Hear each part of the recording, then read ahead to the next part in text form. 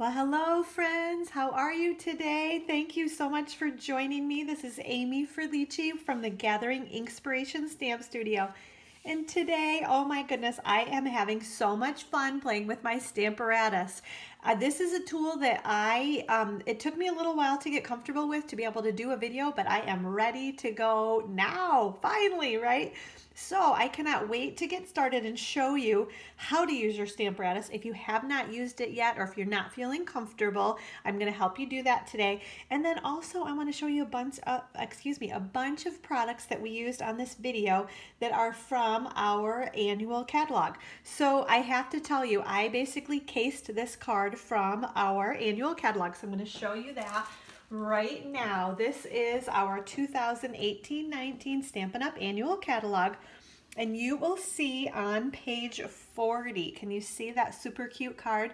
So I obviously changed up the colors and maybe did it a little bit differently, but when I, I even circled it here because it talks about using the Stamparatus with this stamp set and I thought, oh my gosh, this is, this is it. We're gonna do this. We're gonna make a video and I'm gonna show you guys. They even kind of give you a little peek of the Stamparatus right there in the corner of the catalog. And then here's the super cute stamp set that we are using. It's called Around the Corner and basically you can stamp all of these images kind of in the corner of your projects with this cute stamp set and then kind of do some layering of some sentiments there to make it even more fun. So I'm going to show you, like I said, how to use your Stamparatus and how to make this super cute card. A little bit different color scheme, but same basic idea. So let's go ahead and get started.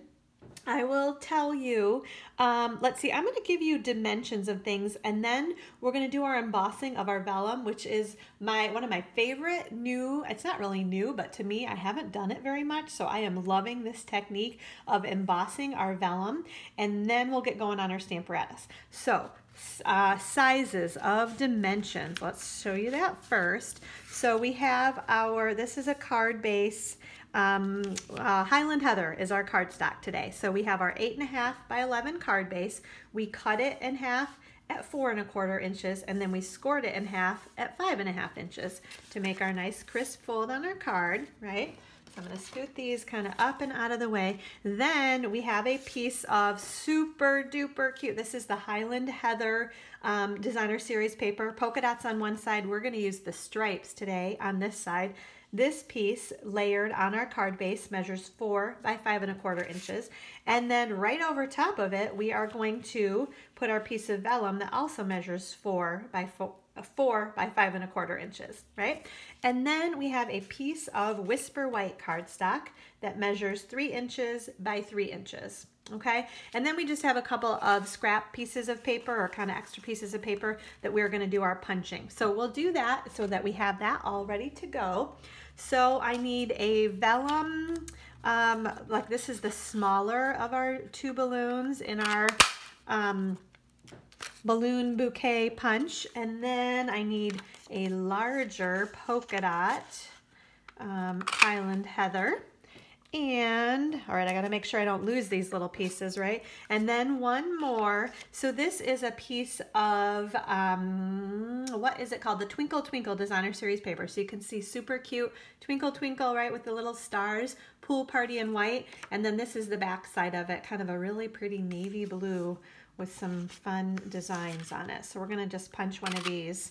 And, oh, this happened, and I wanna show you guys this. So when this is in the locked position, it won't let you punch all the way through and you're thinking, oh no, my punch is not working. So mine is a little bit loose. You can see it kind of goes back and forth really easily. Just push it up into the open position and then squeeze again and you'll be able to get your piece punched right out of there. So that's just a little trick. We've we run into that issue at classes and things and people think, oh no, your uh, punch isn't working.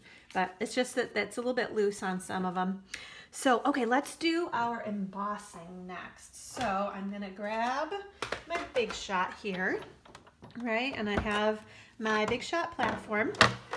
And we are going to use, this is the Scattered Sequins Dynamic Textured Impressions Embossing Folder. And I've got my little note here that says to use one clear cutting pad because it's one of our thick embossing folders, right? So You don't want to break your big shot and try to run it through with both of our cutting pads. We just need one of them. So I'm just going to put my vellum right inside there. And it doesn't even matter if it moved. It looks like it already did move. As long as it doesn't come out of the sides of the embossing folder, we're fine. And then just put one clear cutting pad on top. That's all you need. Crank your handle and it runs really kind of easily and smoothly right through our big shot.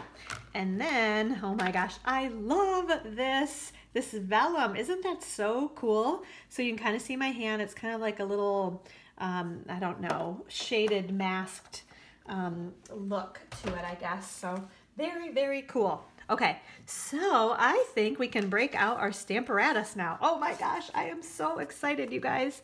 All right, I gotta make sure I don't lose my pieces though. So I gotta, I gotta stay organized, ladies. Okay, and did I move my, I think I did move that a little bit. Okay, so here we go. I'm gonna grab my Stamparatus. Actually, that's not gonna work. I gotta move that card out of the way. Okay, so this is our Stamparatus. There's one uh, door on here right now. And I've already positioned my stamps and I'm going to show you how to do that as well once we get started. Um, you have your little template right here with your ruler on here if you need to help um, place images or, or your paper. Um, let's see. The one thing I will tell you guys, um, uh, maybe a couple of tricks. Anyway, when you go to stamp or ink up your stamps, this, um, and this is my chamois, which I use all the time as well to kind of clean things off here. But it's a great surface to kind of, when you open this up to ink up your stamp, kind of keep it level on here. And just kind of, instead of it flopping um, down too far, right? Oops, I think I have to move it a little bit because my stamp's kind of getting in the way, but there. Now it's very even, so I'll be able to apply even pressure when I'm inking up my stamp. Now, because these are photopolymer stamps, I've learned a couple of tricks. First of all, I think you almost need a little bit of a shim to kind of raise it up to get a good stamped image. So I like to put my little silicone craft sheet right in the corner there as well. And then you definitely need to use your black uh, kind of foam mat that comes with your Big Shot. Basically, it's got the foam um, as if you were using red rubber stamps, when you use those, they it already has the foam in the stamp, right? So you don't need this foam piece here. But because the photopolymer stamps do not have that foam mount, we need to use it on here. So we're going to just pop that right in the corner there as well. Then, oops, I should have showed you this first maybe, but okay, so we're gonna kind of flip this closed. The other thing you need is one of your magnets that you store right on the back here. You do not ever want these to get too close together. I don't even wanna like, you know, put my hand too close together right now because they will come together and they can break basically. So you use only one of these at a time. They're super strong, so you do not need to use more than one. So use one and the other one is your backup basically. As soon as you're done using this, make sure you put it right back in there too. And you can feel the magnetic, you know, force that it helps hold it right in place. So you're not going to lose these things either. The other thing I've learned is don't put them, don't put one magnet on the table and then the other one on the table because they will come together and again, they can break. So just be really careful with that. We do have replacement magnets for sale if you ever forget and something happens. So not to worry, um, but you know, try to avoid it if you can, right? So we've got our three by three piece of Whisper White cardstock. I've already got that one all ready to go. So I'm gonna put my magnet down here because what we're gonna do is we're gonna ink this image up and then we're gonna stamp it right in the corner there, okay? So I have my black Memento ink and just kind of carefully, it's a little bit harder when you're doing it right in the corner. I'm gonna do another video to show you, they really recommend whenever you can to put your cardstock kind of in the bottom two thirds of your Stamparatus, that that um, is a little bit easier to stamp in that area. So because it's right in the corner here, near the hinges um, and the corner, you want to apply quite a bit of pressure. I'm really I'm pressing pretty hard with my thumb to make sure that all the ink that's on that stamp comes off. And that looks beautiful, right? So next step, I need to move my magnet kind of up in the corner here. And can you see this is like uh, oops, let's make sure that's good in the view there, right? So we're gonna lift this guy up and we're gonna flip it around, right? So pop that back in place and then we're gonna flip that back like that. So now we can ink up our next stamp. So this is the stamp that says, it's your day. And I can see, I've already, I'm gonna clean in just a sec. I can see I've already gotten some ink right in the corner here. You probably, you maybe can't even see it, but it's really black right there. I can see it. So, okay, so we're gonna flip this down. Oops, actually, you know what? I need to move my magnet a little bit more so I can get my full stamped image. Okay, so again, I'm gonna apply a good amount of pressure here to get my ink, and I'm not pressing anywhere else except right where my stamp is, right? Okay, now there we go, awesome. What I, what I was gonna say was sometimes when you go to lift your stamp up off of here, this, the photopolymer, because they're a little bit sticky, might move your paper. So just make sure that you push it back into the corner and put your magnet back down so it's back in place. So, okay, now we need our other door here.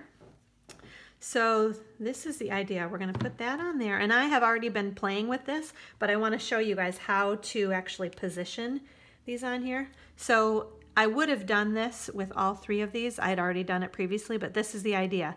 To get started in your stamping. So you see how you kind of move that around. For me, the hardest part is putting it in place and then getting my fingers off of it without it moving because it's a little bit sticky. Um, but I think we're good. So we've got that position where we want. So then we flip that down and then we pick it up, kind of press with our fingers. And again, if, if our paper moves, which it looks like it kind of did, that's not a big deal. Just move it back in place. Those photopolymer, because they're sticky, right? So just get it right back in the corner, get your magnet back on there. We're gonna use Highland Heather ink. So just kind of nice and easy. I've heard um, if you have ink spots, those are wonderful to use. A, a reason to get paper pumpkin. Oops, can you guys see me doing that? There we go. Let me move that into the line here. Yeah, paper pumpkin, whenever you get those cute little boxes in the mail, they give you the little baby ink spots. They're only about that big. So you can see why it might be a little bit easier to ink up your stamps with um, those little ink spots. Okay, so we're still in the view. I'm gonna flip this down and then I'm just gonna press nice and easy. I wanna give a good amount of pressure um, to make sure all my ink comes off. And then I pop it up and voila, look at that perfect stamping, right? Perfect placement. So I am loving this Stamparatus. So that's the basic idea, right? Um, I was going to check to see. I have some notes here, make sure I didn't forget to tell you guys about anything. Oh, I know. The one thing that I wanted to sh share with you was I like to use my chamois. I think it's really kind of a quick, easy way. Like, you know how I said I got ink kind of over there in the corner of the hinge? And then even kind of just use it like a little cleaning surface. We can clean our ink off of there. Oops, that's not even my stamp, is it, right? Let's see, we'll scoot that back up so you guys can see, right? So I can see I got a little bit of ink there. So I love this, just being able to kind of clean everything off. So it's all ready to go, right? You, the other thing, oh, this is perfect because I almost just did this. You want to never, ever, ever try to close both of these at the same time. Can you see how that only goes down naturally? Oops, everything is moving on me um, about that far. So you never want to close both of these at the same time. You just lift this out and then keep it um, stored separately. Okay, you cannot fold both of those down. They will not lay flat down there. Um, what else? Oh, the other thing I was thinking of to make sure you guys think about is obviously holidays are coming up, right? So can you imagine how quick and easy it's going to be to do your stamping? You know, multiples. If you're going to make 100 Christmas cards, just put your paper, um, you know, get it lined up, get your stamp lined up, ink it and stamp, put your next piece in, ink it and stamp. It's going to be super fabulous for that sort of a thing. Um, I think that's really about it. The main thing is just to make sure you apply enough pressure because that was kind of a thing that I learned the hard way um, was not applying enough pressure. So when I went to stamp, all of the ink wasn't coming off onto my cardstock. Not really a big deal because you can just re-ink it and put it right back down and it's perfect placement, right? So anyway, isn't that awesome? I am just loving my stamp Stamparatus. So we're gonna pull this piece out of there and we're gonna scoot this guy right out of the way right? And what else? So I think we can put our card together now. Ha ha ha. I love this super, and I love these colors too. The um, Pool Party and Highland Heather. I think it's such a pretty color combination. Okay, so actually we don't even need that card base. We're gonna use that in a little bit. So, oh, I know what I did was I built this guy first. So we're gonna put our um, balloons on our card. Where is my, I need my dimensionals. There we go.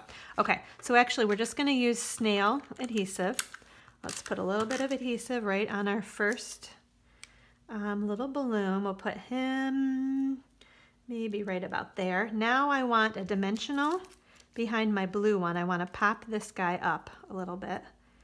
Oops, my dimensionals are being funny these days. It's almost like both sides come off, so it's not sticky, but that's all right. We'll get that figured out. We're gonna put another balloon right about there.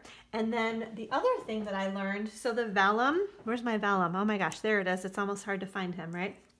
So I like to use this Tear & Tape as an adhesive, just a little strip of it on my vellum because what I found is that you um, can see, let me make sure I'm gonna put that on the right side, yep, that you can see the adhesive. Like when you use your snail adhesive, it's almost like it shows through, but this Tear & Tape, I don't know if it's a little bit more clear or something, so I'm rubbing really well to get that applied on there, then I'm gonna peel it off, and then we're just going to kind of adhere that maybe right about there. So it just kind of floats and you really can't even see it, which I love. Then let's see, now we're going to adhere this Whisper White piece to our vellum because this was my trick, right? I didn't want, I don't want to see adhesive behind my vellum either. So I built this all, put it on here so that now I know I only want to add adhesive in these areas right here. Because if I run adhesive down here on the vellum, again, um, you'll be able to see it. You could also use your Tear & Tape to help apply it, but I have found that this works really well, just like this too. So we're just gonna apply that right on there, okay? Then we're gonna add some more adhesive. We're gonna put all of this, the whole fun shebang right on our card, right? Now we have one last step. We have our silver and white baker's twine, and we're just gonna actually have a little bit of a strip already cut off here. So what I found was it was easiest to, and this is gonna be a little funny, right? Um, how did I do this?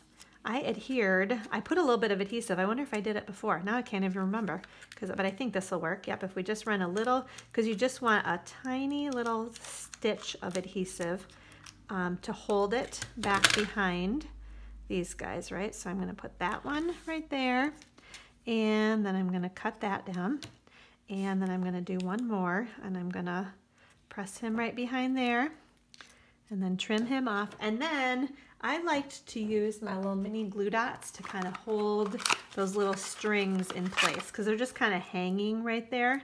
So I'm going to grab a little mini glue dot. Oops, I, I almost grabbed it, right? And I'm going to put it maybe right about there. And then I'm just going to kind of have some fun with these guys. I'm going to make one go that way and one go that way. And I want to get them right on there so that they kind of cover up my glue dot right? I'm gonna trim that guy off just a little bit. And there we go. So isn't that so cute? I love the vellum, the embossing. I am having so much fun playing with this Stamparatus. Hopefully this video inspires you to pull your Stamparatus out and play with it if you've been hesitant to um, so far. But you're, you're just gonna have so much fun. You just have to get started and get playing with it. That's my advice because it took me a really long time to feel comfortable. And you just have to pull it out and start playing with it and do it, right? So thank you so much for watching today. I hope you all were inspired today. I hope you enjoyed this project. Um, make sure you check out my blog at gatheringinkspiration.com. I always have a host code on my blog, right? So it's on the right hand side toolbar. When you use the host code and order online at my website, um, you always, so I'm doing Facebook Live videos now as well. You can catch those on this same YouTube channel, the Gathering Inkspiration Stamp Studio YouTube channel. But the awesome thing is when you shop online, use the host code from my blog, you automatically, with at least a $30 order, that's it, right? You get the projects that I demonstrate on Facebook Live that week, and your name goes into a drawing to win the giveaway that I do on Facebook Live.